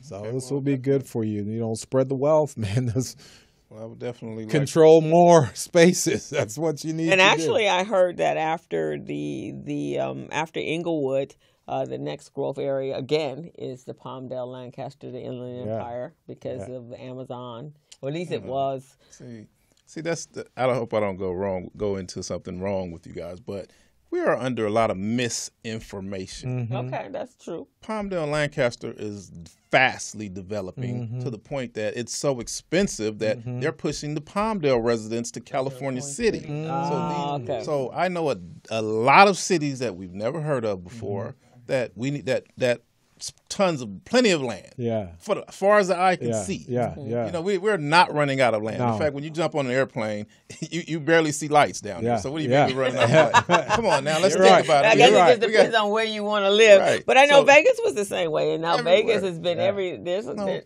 See, this is why we have to have a, a, a manufacturing. I'm sorry, not a manufacturing, but a, a, a land my land development classes Mm-hmm. because we have to think like developers. Mm-hmm. okay. If you learn to think like a developer, your whole perspective of the world changes. That's true. You see things totally different. That is true. When you're driving down the street, you're like, wait a minute. This you start noticing Yeah, things. yeah. When you're thinking about stuff and people start having conversation, you're like, wait a minute, Yeah. that doesn't make sense. Yeah, yeah. Mm-hmm. Developers drive the world. So if I start talking about things, it, it just change your whole perspective. Mm-hmm. So it's very critical that we start teaching our children at a very young age Mm-hmm. about development. Just like me, I learned because of all the crime was going on. Like your mom would say, "Hey, I need you to uh, go over across the street in the other neighborhood Mm-hmm. and get me some swabs from Thrifties." Well, guess what? That's the wrong neighborhood. Now he's Mm-hmm. going to get shot. So some of the guys in my neighborhood, they bought ten parcels of land, Mm-hmm. and they said, "All in our neighborhood, and we're going to build." 10 burger stands, 10 beauty salons, 10 barbershops, 10 one hour photos. That kind of show you the date now. You mm-hmm. know, and we're going to build all of these things and give some jobs so we won't have to worry about people getting shot. Mm-hmm. So at nine years old, I found out what blueprints were. Mm-hmm. I got to learn how to read the blueprints. Okay. Because I was a nine year old with a million and a half questions. You know, you know how the Yeah. young people come Oh, in yeah. and be like, "Will you leave me alone and go watch TV?" Yeah. Right, exactly. Now, there wasn't no TV back then. There wasn't nothing to watch. So they was like, well, just answer his questions. And Yeah. He explained to me, this is what the blueprints are. Yeah. Mm-hmm. This is what some land is. This is what development is. This is what construction is. This is so I learned all of that. Wow. So from nine to thirteen, or what was it, twelve or thirteen, I watched some strip malls going up. Yeah. Mm. And then I remember telling the guy, I said, we're reading the blueprints, and I'm, the guy says he's he's finished and he needs them to sign off on it. My buddy to sign off, and I'm looking, and I'm like, well, that's not right. He's like, why? I said, in the drive-through, people are going to get jacked because you can't get out of there. That's true. And then the guy started laughing, like, get out of here with that stuff. And then my buddy said, wait a minute, no, he's right. He's right. Re- redesign that. He said, that's going to cost you a lot of money. He said, redesign it. Yeah. We don't need that to be locked in. And next thing you know, he said, from now on, you work with TJ. I'm Mm. like 12 years old. That's amazing. So by the time I was 20 years old, I was running circles around Wow. people because I can identify land. Wow. This is a good deal. That's not a good deal. That's a great building. Let's buy that one. Don't touch that one. Yeah. And see, that's where it shows that be, being in a certain environment, it really builds your intellect. You Right. see what I Right. mean? Absolutely. Because if you weren't in certain environment, that's why I share with people right now in, in Crystal, whenever we go to a restaurant, you know, I sit a certain place in the rest. I'm not sitting with my back to the door. There's a reason for that. right, You see what I'm saying? You wanna see. and that's because of my environment. Right. You see what I'm See saying? what's going on. So, so those those are things just like you're pointing Right. out with the building. just, just like right now, we got people's the dominant conversation in our community is, oh my God, the prices are so expensive. Oh, I'm moving to Atlanta. I'm moving to Texas. But when I go into my my white friends' communities, they're like, "Oh my God, where, how do we get to Watts? I gotta go get some of that land, you know." And I'm like, "Dude, you just came from Italy. You know what I'm saying? What do you know about Watts? Yeah. You know?" They're like, "Oh, that's where we that's where the investments are." So we have people coming from Yeah. all around Oh, the yeah. world Oh, yeah. looking for Compton because they're you know? hearing about it. Yes. They're so- hearing about it. So even at my friends, uh, here's another thing. We got a we got two. We're we got this big divide. We got people saying, "Oh, black people don't have this and they don't have that and they're not doing this," and then we got the people over here that's doing. it. Yeah. But they don't know each other. Yeah. They don't even talk. They don't Yeah. communicate. Right, exactly. Because these people over here are too smart. They're all educated Yeah. and got Right, degrees. right, and You can't tell them anything. Yeah. Yeah. So these people over here, they're just living it and doing it. Yeah. So, for example, my buddy at Tomorrow's Aeronautical Museum, you guys heard of that? Mm-hmm. He's over there. People coming in there, Europeans coming in, and he's flying them around over the city, and they're like, "Okay, take us to fly over Compton." we're flying. I'm like, I never realized just how much development is happening. Mm-hmm. So we're not. When was the last time you drove through Watts? Yeah. When was the last time you drove yeah. through Compton every, yeah. every block? Compton a couple weeks ago. I went to a funeral. Yeah. see, see, we go we go straight in and, and get out. out. Yeah, exactly. But when I'm flying over and I'm looking down, all I see is brand new wood and mm-hmm. construction. Oh yeah. And concrete Opportunities. Trucks. It's so much development, yeah. but we don't see it. Yes. We don't know. Well, we definitely want to continue this because I'm getting inspired here right now. So it's now 4:30. I think we're going to go ahead and take another break, Felicia. It's uh, take a two-minute break, and uh, we'll come right back to this. And Crystal, you've got some vital information that I want you to weave into this conversation. All righty, sounds okay? good to me. All right, so we'll take a break, Crystal. Okay.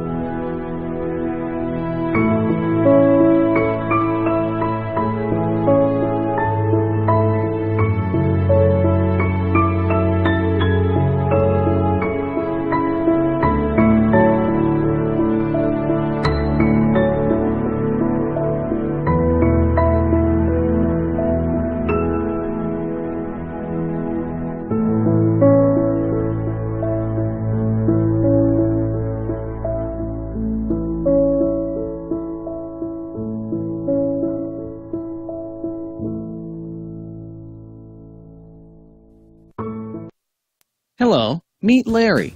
Larry is a general contractor. Larry is very good at his craft, but Larry has a very tough time managing his paperwork because he is busy taking care of his clients' needs. Larry just cannot find his important business documents when needed. Larry is also being passed over for bid opportunities from prime contractors because he is perceived as not ready. He doesn't know where his business license, certifications, insurance, and other key corporate documents are located most of the time. Lucy owns an auto body and collision repair shop and has been using a business management and procurement assistance program called Small Biz Pro to keep her business organized, business ready, contract ready, and bank loan ready. Small Biz Pro is a three in one cloud based business management, procurement, and market research assistance system designed to help businesses become business ready, contract ready, and bank loan ready. It also provides back office operation solutions for small businesses. Lucy is able to stay ahead of her competitors because she uses Small Biz Pro to manage her business daily. Lucy just clicks on Small Biz Pro from her tablet, mobile phone, laptop, or any internet accessible device for data retrieval, and she's got it. Lucy introduces Larry to Small Biz Pro, and now Larry is more organized and can now find all of his documents and new bid opportunities in seconds. Larry now saves $120 in labor costs for each missing or misplaced document. Just simply go to your web browser and log into smallbizpro.net and register today for a limited 30 day free trial offer. Services start as low as $1 per day. Let's put the competition out of business. Small Biz Pro. If you stay ready, you don't need to get ready. Register now at smallbizpro.net and begin saving money. Email info at smallbizpro.net or call 626 533 1186.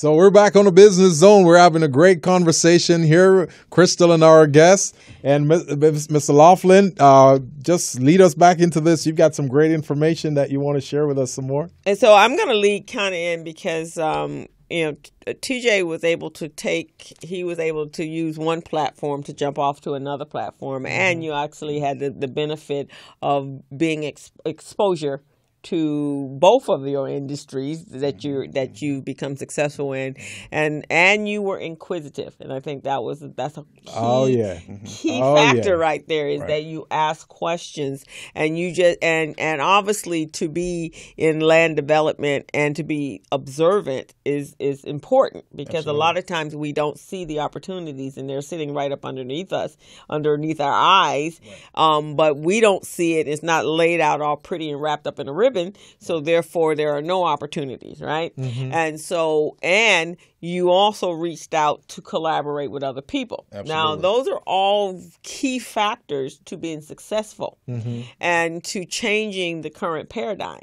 Because gilbert and i uh, you know we meet and you're a coach as well. So you you get it when you're in a class. I know you get the same thing. So when you bring these innovative ideas and people kind of look at you blankly and they're looking at you like you're a superhero because you didn't done something miraculous to them Absolutely. which is not miraculous really at all. At it's all, just at all. you were inquisitive you researched you you identified an opportunity and you found out how you could get involved in that opportunity. He was persistent about it, and, and he was followed persistent and determined Yeah. whereas a lot of our business owners are not you know they kind of some of the stuff that just kind of falls into their lap. Mm-hmm, and, and and then they don't venture out and and and to find out what else where here i am right now. And so for you from what i'm getting from this conversation you are already looking out five ten years. Mm-hmm. 10, 20 years. 10, 20 years where most Gotta of us, so when you say no, there's not a problem because you're already 20 years out, right? Most people are still right now.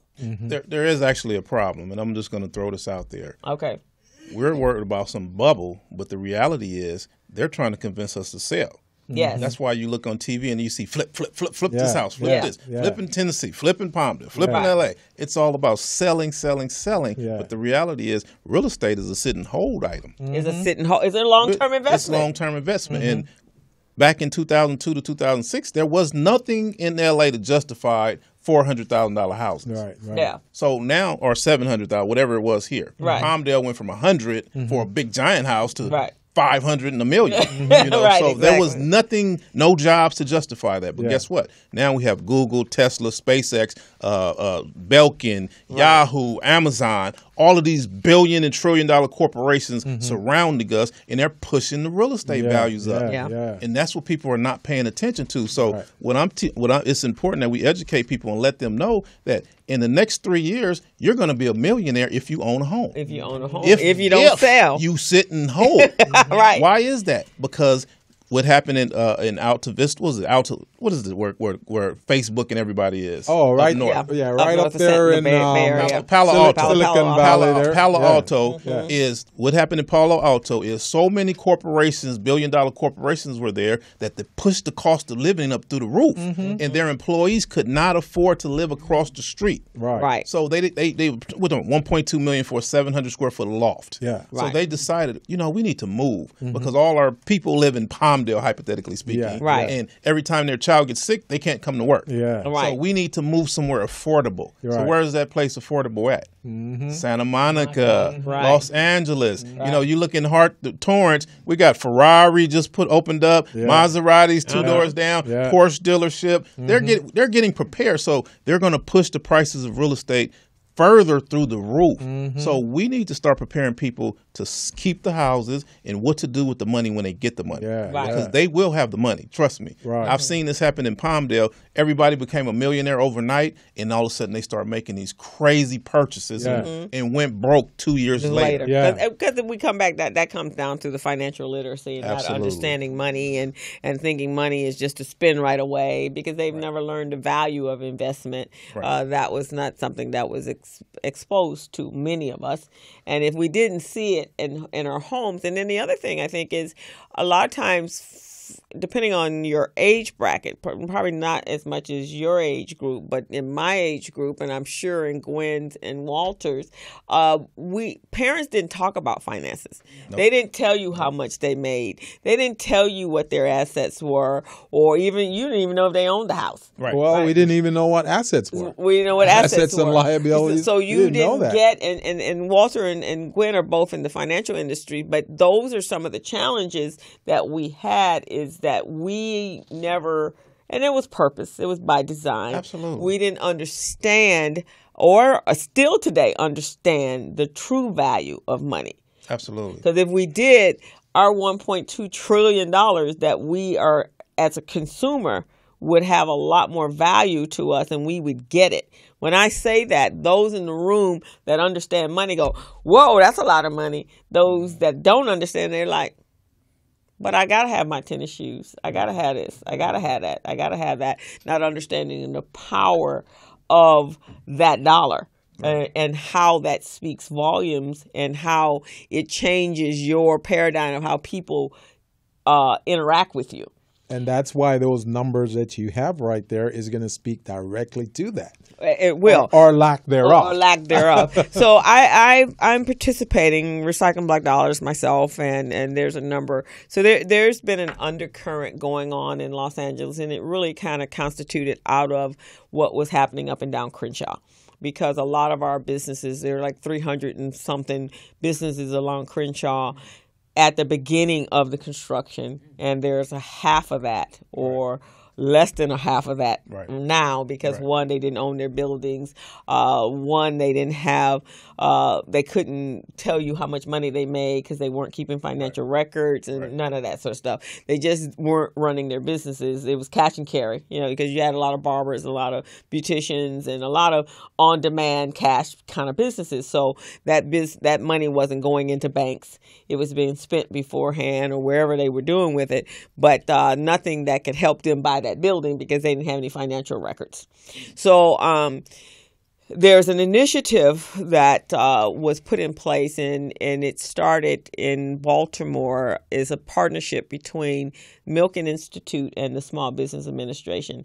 Now there's been several occasions where they had talked about redefining and and reclassifying and uh, the how the Small Business Association provides loans to to minority owned businesses.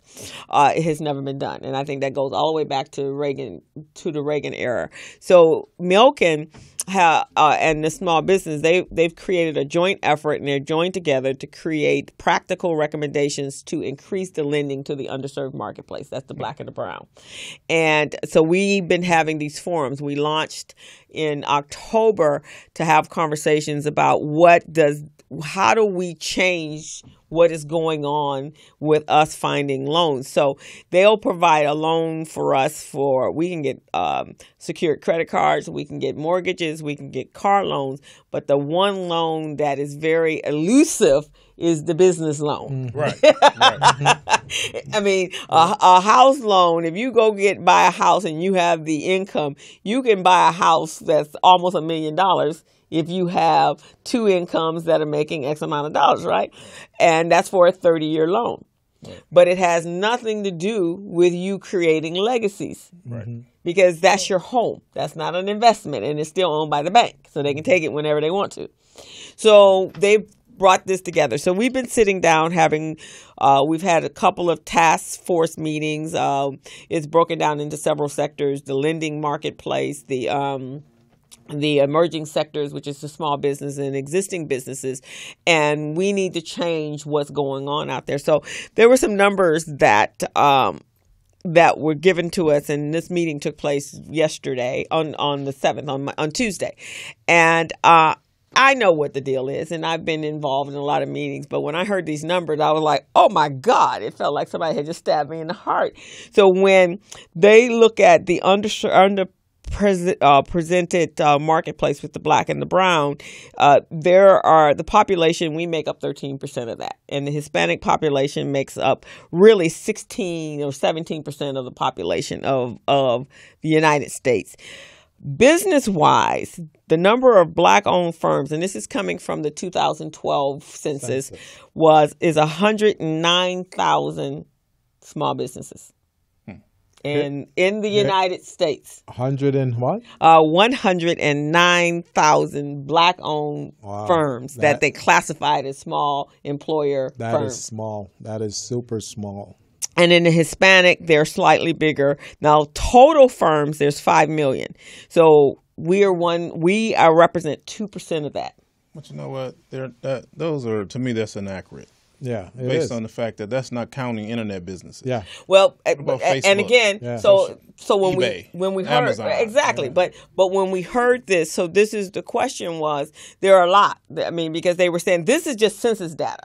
So for the uh, black and the brown, we're not very trusting, uh, and we weren't giving you accurate information anyway, which is why we knew what transpired on Crenshaw because they're not going to give that information unless they have a relationship with you and feel comfortable Mm-hmm. enough to divulge that. And in the, in the Hispanic marketplace, you know, there's there's like five point about seven percent of the employer owned. Now there are tons of self-employed, sole proprietor, no employee businesses. Mm-hmm. There, but there for those that have more than two two to three employees where they're paying payroll is a very small percentage because if even if you have your online businesses it's usually just one person you're not really hiring anybody or paying payroll where it's going into a payroll system that's where these numbers were generated from Well, see, to me, they're they're trying to give us some false goal.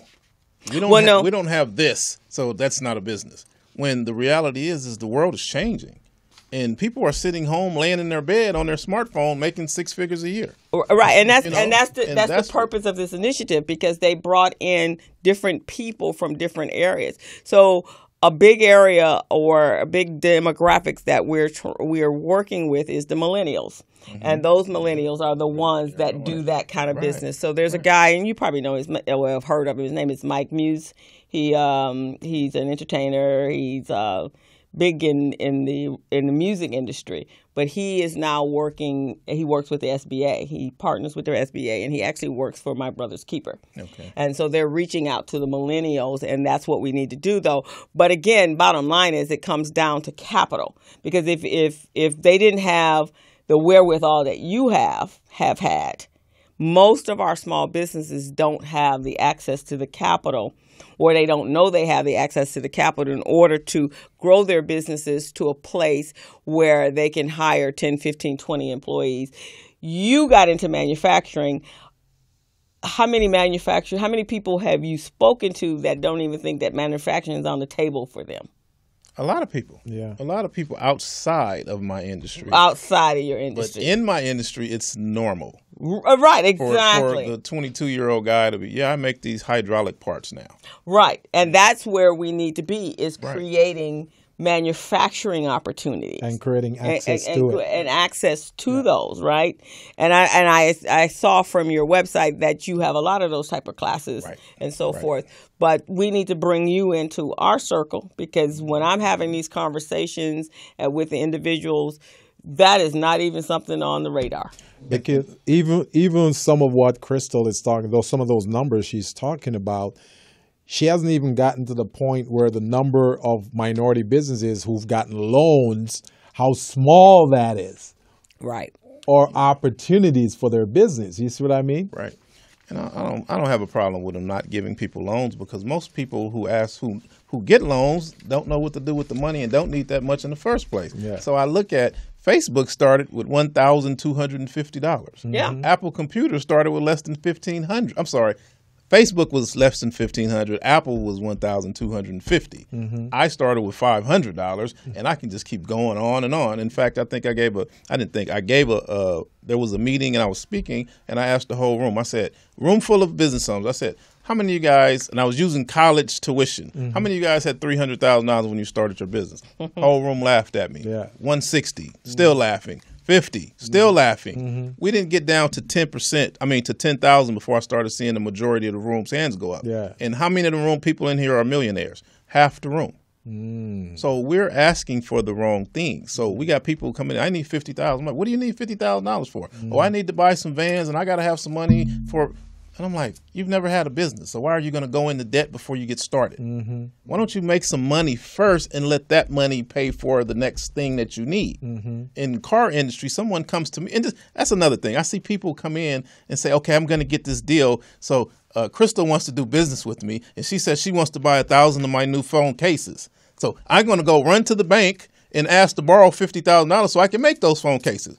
But when the reality is, if Crystal wants to buy these, Crystal needs to give me a deposit on these. Mm-hmm. Well, that's That's true. what That's eBay true. said. That's what eBay is based on. Yeah. So mm-hmm. that's where we go wrong. Mm-hmm. Right, but those are that that's the the new on demand, and a lot of our, and we pretty much deal with not the millennial. We're dealing with more established human, uh, uh, business owners that have oh, they only know one way, and, and so that's being able to open up their mind eyes to see out of the box thinking. Right. But uh, you were exposed to out of the box thinking. I'm an out of the box thinker. He is definitely an out of the box thinker. But majority of and and, and Gilbert's marketplace is mostly the Hispanic population. Mine's is more us, and so he sees the same trends in both areas. Yeah. So somewhere the training or the opportunities, the SBA, the, and that's some of the things that we're talking. Right. The the car, it's not the right conversation that's being had Right. So that we can get the information out because if you did what you did with manufacturing that's where we need to be focusing on. Absolutely. Mm-hmm. right? Not and and those of our businesses that find it's easy to go into a service-based business because you don't need any money. But can we take those individuals and move them into manufacturing? There's always a need. And now because it's, we live in a global world you don't have to just manufacture for here you can manufacture and send that to another continent. Right. And Africa is like a melting pot of opportunities because your rubber tires is not over there. Right. Your covers are not over there. Yeah. Right. They, they need everything that we take for granted over mm-hmm. here. Mm-hmm. They need it over there. Yeah. Right. And and that's how I did very well in the low riding industry because I started shipping cars to Japan, Germany, Australia, New Zealand, and then they started calling me saying, "Hey, well, when we're driving our lowriders, what do I wear?" You know what kind, what kind of hat? You know, and I'm like, uh, you you gotta have a hat that say Compton on. it. They're like, Yeah. oh, send me a container. Ah! You know, and then I'm like, then I realized I'm like, wait a minute, they don't know. I'm loving this. So let me. So that's why I started a clothing line back in the day. Said, I said, "Oh, they wearing these shirts that we got." They said, "What kind?" And I'm like, "Um, oh, it's a shirt with a with a rim on it." And they like send me a container, and then I'm like, "Crystal, who makes shirts?" Know? and and that's how the business started. I need Oh, you yeah. to send me this much money, Oh, and, and so this is why it's important. Then I realized I made more money overseas than I did here. that's right. Right, That's exactly. Way more. So they were right. excited. So money never slows down. Yeah. It changes places. It changes Yeah. places, and that's Yeah. what we have to get. I am definitely going to because we're doing. Um, we I do a business camp with kids every year. Mm-hmm. Uh, they're from the ages technically from the age of 14 to 18, but we have a couple of 10 year olds in there because they've been doing stuff. I would love to have you come out and talk to the kids when that happens because when I have our orientation, that's what I'm talking to the children about. I want if you're going to do t-shirt t-shirts, I want t-shirts on a huge level. I, I want uh, jewelry on a large level. I don't want small stuff that that is not going to make you any money no more than lunch money and to know that you can start this business today you know, and, and, and that's what's important is I would like I'm I'm working currently to expose my industry. I stepped out of my industry. I'm like the Michael Jordan who decided I don't want to play basketball anymore. I'm gonna go play baseball. Okay. So people are looking at me crazy, like you're crazy. You're you're the Steve Jobs of the low riding industry. Now you want to go do something this public speaking thing. and I'm like, but what's happening is in my industry, we got more people since it's grown to like over 10 million cars worldwide. Mm-hmm. We got more people coming here looking for the work to be done and don't have the people to do the work. so we So need to get the we people need painters, we need mechanics, we need auto body guys, we need guys that do fabrication, people who know how to weld. We don't have these things. So what people under, fail to understand is, I don't want my baby touching the lowrider and things like that. And I'm like, wait a minute. Low riding has hydraulics in it. It has mm-hmm. mechanic in it. It has auto body. We're talking about pathways mm-hmm. I to need to leading introduce to other you to, things. to Nolan Rollins, the president of the Urban League, because he's that's the kind of Yeah, I think innovation I that's you know Shorter no guy. bald head, thin, It's tall. Okay. It's yeah, tall. no, no, yeah, he's tall. So you need to meet because that's what Nolan. He is that kind of guy, and and nobody comes to the table with that kind. Of, nobody I know, and I you can attest, is having this conversation that you're having right now. Nobody. That's why when you speak to people, they're like. What's he talking about? Mm-hmm, because mm-hmm. nobody's having this conversation. TJ. He's yeah, making he's this up. making up. 'cause See, He's see, lying. TJ. He's making the stuff the up. thing is, I'm I'm very I'm I'm just enamored right now because that's why I'm sitting here quiet listening because a lot of what you're saying are some of the things I've been saying for a while now, but you're taking it to another level. And this is just food to my stomach right now. You see what I'm saying? I am loving this. And it's a shame that we only have two hours on this show to do this. I would have wished we have- had five gotta have more hours. come on back out Oh, so we, we got to have you back. more we got to have you back because th- what you're saying a lot of key things that entrepreneurs really need to hear. Right. Because you know, in talking about the investments and funding and all of those, those are key areas that need to be explored. And, and, and let's talk about that really fast. We get to a situation. If I say, "Hey, Jonathan, Jonathan's going to college," everybody's writing checks. Yeah. But if I say Jonathan has a great idea for an app, people are like, Yeah. "You Yeah. gotta go to college." Yeah. you know, like Yeah. he only needs six thousand dollars. Exactly. and the app could possibly sell to Apple for a billion. That's what I'm talking you know, about. Exactly. and he could come back and buy up all of Leimert Park Yeah, in L.A. yeah. and save the community from and it's interesting because that conversation that you had when I've been there have been a number of kids that have come up with these amazing uh, uh, apps, and then I try to bring someone in to help them figure out how to to, to scale that, Mm-hmm. and there's nobody that in the, the core group of people, and some of these people are in technology, Yeah. and they they're not us, they're not our color, and Exactly. they and they And they'll- can't they'll maybe they don't want to tell our They children don't definitely don't want to. and so our children is still like, how do I make money? Because these kids, I had one kid, and and after he said that, he actually won the competition. But after he said it, he wanted a bat. He created a basketball app that will identify where a game was going at any given point in time. And Oh goodness. and this was several years ago. So then after that. There was tons of those apps out there, and then I told him, I said, "Why don't you then change that and add a component to the fantasy, like they have fantasy football, have fantasy basketball, You know what the biggest thing is that we need to be learning right now? Start teaching our kindergartners. Yes. We got to start teaching them about apps Yeah. because it's no longer about gold and oil. Yeah. Right. Yeah. It's about uh, apps, Yeah. meaning uh, Candy Crush, for example. Yeah. So for five point nine billion dollars, Wow. every time we get something more convenient for our cell phone, Yeah. that's an app Yeah. that somebody just bought Yeah. for over probably eight hundred million and up. That's Right. right. And it's normal Yeah. for an app to sell for a billion dollars. So the new gold in Yeah. oil Yeah. is an idea. is That's in the right. idea, And and the so- idea, and this is worth so much money. It's important that that's why I say I've been in dealing with the Compton School District. I'm all on YouTube doing videos, and I'm talking to these kindergartners about patents, trademarks, copyrights, and intellectual property Yeah. because they're going into our school systems, mm-hmm. coming up with video games. Yeah. How did? Why don't you create your own game on our game? yeah. And they- they're playing They it. own that. Yeah, they, they own, own that game that these kids are creating. They own it. Exactly. And maybe what we can do then on that note, because you're this innovative thinker, find, there are grants out there for that. So we can do that under RBD, and we can actually have classes for our kids beyond the NFTE program, because that's what I do, a certified NFTE program, and we have to find funding to make that happen. And it's a 10 day camp every summer. But that needs to be ongoing. And I've actually gone into schools. We can create an after school program. And there's a, in fact, in fact, there's a guy that we're going to put a tennis program over at uh, uh, Car- uh, Washington Car- George Washington Carver Elementary School in Compton. okay. He wants me to bring something in. Wow. He's very innovative. They had a tennis court. We have already put the proposal in for the the um for the tennis program. He's ready to go. He just get the sign off from his board. And he and I told him about the entrepreneur program. He goes, "When you want to do it, just tell me what we need to do so we can sit down and put that together. Compton's your backyard, and this and and it's next door to Willowbrook's Boys and Girls Club, Oh, I love it. and they have a relationship, I love it. and they are excited about that kind of stuff." I love it. This guy came in prison. He's got lacrosse. He got golf. He's got tennis. He got swimming. They do ballet over at the Boys and Girls Club.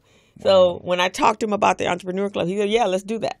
Mm, it's it's needed. So let's talk about that, and we can start with him I'm ready. because he's open to that. But that's the kind of conversation we need to have.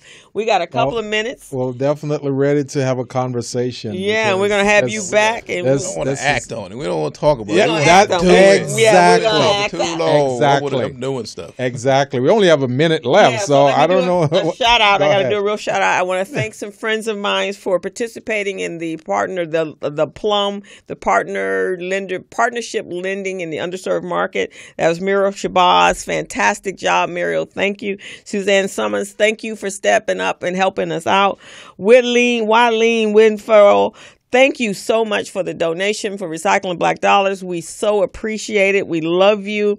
And I also want to say a shout out to a mentor of mentee of mine. Over the weekend, I uh, went to her new boutique. It's called Designs on the Vine. She it was a concept two years ago. It is actual reality. She had told me she goes, I am already got my expenses paid up until March, and I've I'm at beautiful boutique is in Temecula. Mm. Her and her mm. husband moved from Los Angeles or Inglewood to mm. Temecula. Mm. I am so proud of you, Rosalind Balmore. Thank you so much for listening and being open to uh, the coaching that and the mentor and the mentorship that we I provided for you, and listening to all of the other individuals that helped you make your dream a reality. And so I want to congratulate you on your store, and it's called Desi- Designs on the Vine. It's in Temecula, off of Ynez Road. She's also on um, line, and it's divine designsonthevine.com. So that's what I got to say. With that being said, we ran out of time, and man, I'm telling you, TJ, we gotta set up another show for you because I'm I'm energized. I'm energized Excellent. right now. Excellent. And while you, you haven't even heard about Small Biz Pro yet, and you know we got to talk about that. So. It's five o'clock right now, and uh, this is a business zone with Crystal and Gilbert Buchanan. and our special guest is TJ uh, Loftin. And uh, man, this has been a great show. We got to do it again. And is- Gwen Lang Jones gave us that wonderful rendition and commentary on uh, why we must continue to celebrate Black History Month. And Excellent. Black History Month does not take place just in the month of February. It's a lifelong, it's, it's every year, day. It's year long. yes. And we are signing off, and we will see you next Friday. We're out. Bye bye. Meet Larry. Larry is a general contractor. Larry is very good at his craft, but Larry has a very tough time managing his paperwork because he is busy taking care of his clients' needs. Larry just cannot find his important business documents when needed. Larry is also being passed over for bid opportunities from prime contractors because he is perceived as not ready. He doesn't know where his business license, certifications, insurance, and other key corporate documents are located most of the time. Lucy owns an auto body and collision repair shop and has been using a business management and procurement assistance program called Small Biz Pro to keep her business organized, business ready, contract ready, and bank loan ready. Small Biz Pro is a three in one cloud based business management, procurement, and market research assistance system designed to help businesses become business ready, contract ready, and bank loan ready. It also provides back office operation solutions for small businesses. Lucy is able to stay ahead of her competitors because she uses Small Biz Pro to manage her business daily. Lucy just clicks on Small Biz Pro from her tablet, mobile phone, laptop, or any internet accessible device for data retrieval, and she's got it. Lucy introduces Larry to Small Biz Pro, and now Larry is more organized and can now find all of his documents and new bid opportunities in seconds. Larry now saves $120 in labor costs for each missing or misplaced document. Just simply go to your web browser and log into smallbizpro.net and register today for a limited 30 day free trial offer. Services start as low as $1 per day. Let's put the competition out of business. Small Biz Pro. If you stay ready, you don't need to get ready. Register now at smallbizpro.net and begin saving money. Email info at smallbizpro.net or call 626 533 1186.